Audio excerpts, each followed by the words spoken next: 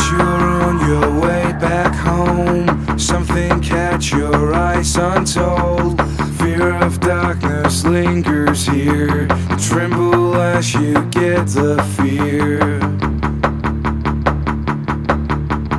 Now you're on the cornerstone, fearing you'll be left alone.